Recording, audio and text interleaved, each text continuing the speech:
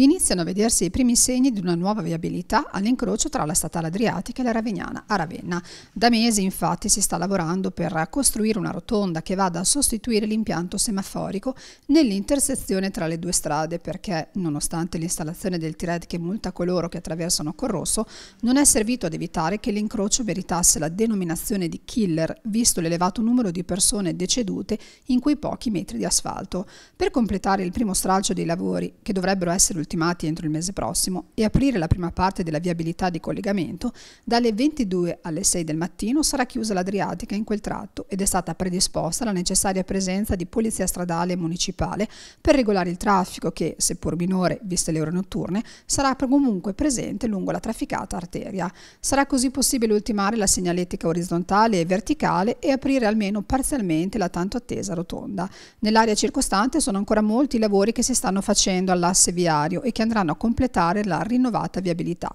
Per questo i cittadini e gli automobilisti di passaggio hanno modo di vedere tanti cantieri stradali attivi a ridosso dell'Adriatica e del parcheggio del centro commerciale che si affaccia sulla statale.